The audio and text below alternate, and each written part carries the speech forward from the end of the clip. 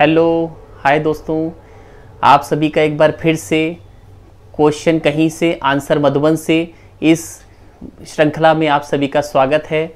और आज हमारे बीच में हैं पांडव भवन से कुलदीप भाई, जो कि 20 वर्षों से समर्पित रूप से सेवाएँ दे रहे हैं। तो आज हमारे एक कुमार भाई का क्वेश्चन है कुलदीप भाई से कि ज्ञान क्या है? ज्ञान से हम किस तरह से परिवर्तन ला सकते हैं? ज्ञान क्या है? एक बार इस चीज़ पे प्रकाश डालेंगे। ज्ञान जो प्रकाश है। ज्ञान प्रकाश है, ज्ञान शस्त्र है, और ज्ञान विवेक है, ज्ञान समझ है, ज्ञान की डेफिनेशन होता है।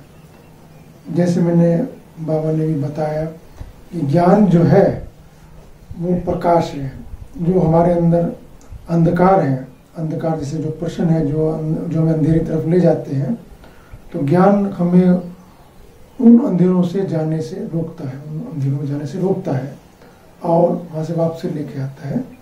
तो ज्ञान रोशनी भी है और ज्ञान शस्त्र भी है। शस्त्र इस, इस हिसाब से क्योंकि कोई बात आ जाती है हमारे मन में जो प्रश्न चलते हैं दुविधाएँ चलती हैं जो उलझने चलती हैं जो प्रश्न उठते हैं व्यर्थ के या दूसरे, जो भी अनेक प्रकार के प्रश्न होते हैं। व्यक्ति कई बार मानसिक होता है, कई बार संसारिक होता है, कई बार ऑफिशियल होता है। तो कई बार घर के होते हैं तो कई प्रकार के प्रश्न उसके मन में होते हैं, जो उसको अंधेरे की तरफ़ ले जाते हैं। तो ज्ञान जो है, जब वो सही ढंग से यूज़ करता है तो वो उन प्रश्नों को काट लेता है है ना? काट लेता है और उनको काट कर अपना रास्ता बना लेता है और अपने जो ज्ञान मार्ग है, जो योग का मार्ग है, उस पर प्रशस्त रहता है और ज्ञान जो है, ज्ञान ज्ञान वो है जो हमारे अंदर डबल लाइट पन ले आता है। ज्ञान ज्ञान की जो समझ है वो अपने अंदर डबल लाइट पन लेके आती है। हल्कापन लेके आती है। हमको हल्का बनाती है। ज्ञान हमें हल्का बनाता है, ना कि भारी बनाता है। ज्ञान वो नहीं जो हमें भारी बनाए। अच्छा ये तो ये जो प्रश्न का उत्तर है, ये अज्ञानियों के लिए भी है, ज्ञानियों के लिए भी है। अब ज्ञान अब इसमें अज्ञानी तो हो गए, अब इसमें ज्ञानी अगर इस बात को कहे कि मैं डबल लाइट रहूँ और कोई श्रीमत के बाहर कर्म करे, उल्टा कर्म करे, और वो भारी हो जाए और श्रीमत वो, अब दूसरी सीढ़ी अपनाए, बोले, मैं इसी से हल्का रहूँगा। ये, वो कोई ज्ञान नहीं है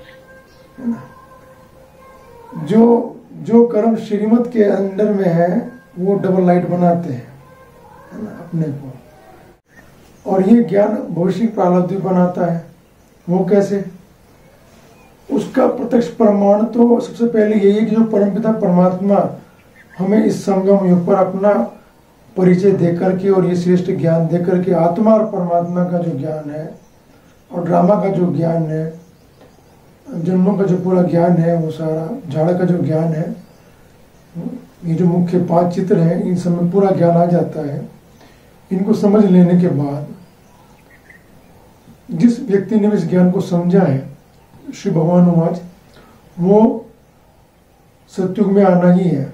सत्युग में माना या तो उत्तरेता के अंत में, या सत्युग के आदि में या बाद में, वो उसके अपने पुरुषार्थ के ऊपर डिपेंड करता है है ना? और जो व्यक्ति इस ज्ञान में, जो हम जो प्रदर्शनी लगाते हैं, जो भी हम मेले करते हैं, वो ज्ञान लेके जाते हैं, और फिर वो ज्ञान नहीं लेते, है ना?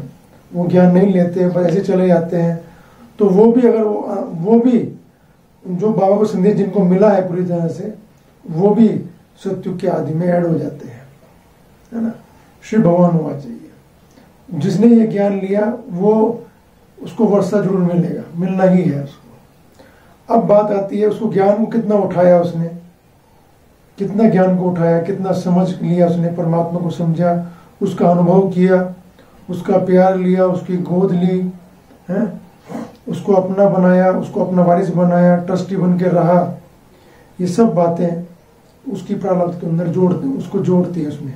सब बातें जोड़ती हैं उसमें। कितना वो निमित्त बन के रहा, विकारों से कितना मुक्त रहा, कितना उसने योग का बहुत लंबा काल अभ्यास किया ये सब बातें उसकी प्रारब्ध में जुड़ती हैं। और जितना उसने पुरुषार्थ किया, सच्चाई सफ़ाई से, उतना ही उसकी प्रारब्ध जो है, वो श्रेष्ठ है। कई जन्मों की श्रेष्ठ है उसकी, और ऊँचे हर जन्म में ऊँचे श्रेष्ठ उसने किया पुरुषार्थ किया है।